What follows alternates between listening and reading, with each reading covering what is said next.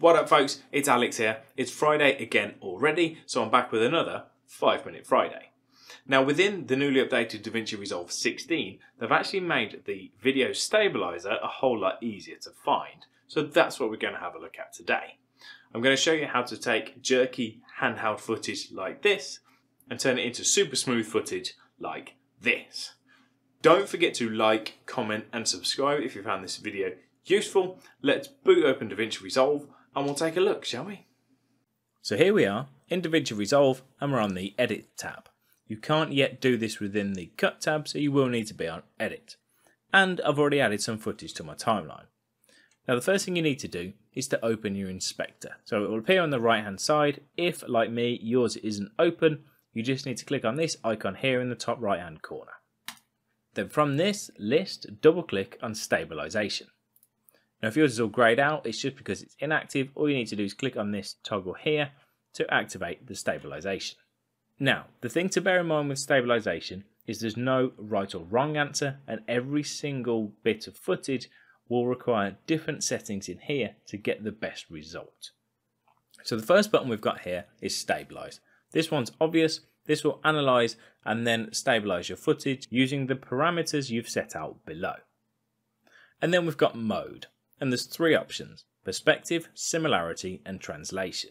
Now according to the DaVinci Resolve guidance notes, perspective enables perspective, pan, tilt, zoom and rotation stabilization.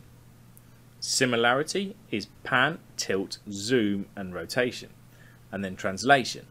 This just enables pan and tilt, i.e. just the X and Y stabilization, up, down, left, right. From experimenting with this myself, the best bet, generally speaking, is to select perspective first of all, try it. If that doesn't work, then start experimenting with the other two. Now, before I show you what any of these settings do, I just want to stabilize this clip so I can show you how the stabilizer works. So I'm going to select the clip on my timeline and then I'm just going to hit stabilize. Resolve or analyze and then stabilize your footage. Now as you can see straight away, what it's done is it's moved my footage over to the right hand side. We've got a little bit of cropping or black area over on the left. So we're just going to hit play and we'll show you why.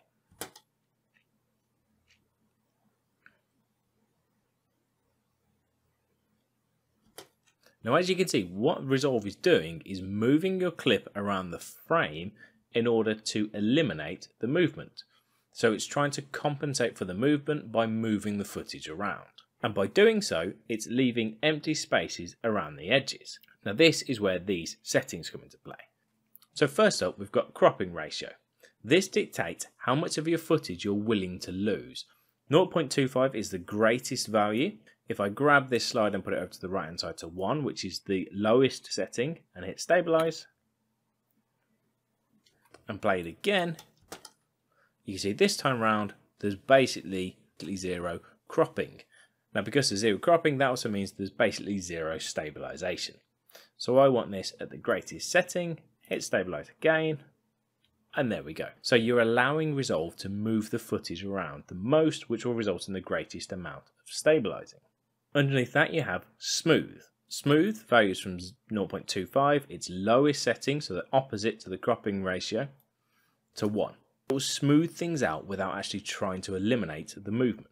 Now again, the greater the smoothing, the more cropping you're going to have. And last up, we've got strength. Strength is basically how strong you want the stabilization to be. One is full strength. Right in the middle here is zero, which basically means none. And you can also go all the way down to minus one here. In minus one, if I stabilize this, rather than moving the frame to compensate for the movement, it will move the frame along with the movement, resulting in even more movement. It's basically doing the opposite to what you'd expect the stabilizer to do. So I'm going to put this right up to 1 and stabilize. Now the best thing to do for these settings is just to experiment. If I need lots of stabilization, I'll put the cropping ratio all the way to the left, which is the greatest value, smooth to 1, strength to 1, leave it on perspective and then stabilize.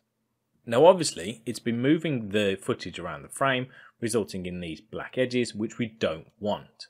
So what you need to do then is click on zoom. So if I pop a tick in here, what Resolve will do is zoom in to crop off or cut off those missing areas so then you won't see the footage actually moving around the frame, you'll just see the stabilized result, like so. But just bear in mind, the greater these values, the more cropping is going to occur. And last but not least, there's camera lock. Camera lock will actually attempt to remove all camera movement. This is only really useful for steady shots. If you've been trying to hand hold your camera to get a static shot of something and you've sort of moved slightly, then you can use camera lock. If there's any intentional camera movement like you're walking and panning, then leave camera lock well alone. So experiment. There's no right or wrong answer. Yes, it's a little bit confusing at first, but once you have a play with it, it'll all start to make sense. Hopefully, this has given you enough information to get you going.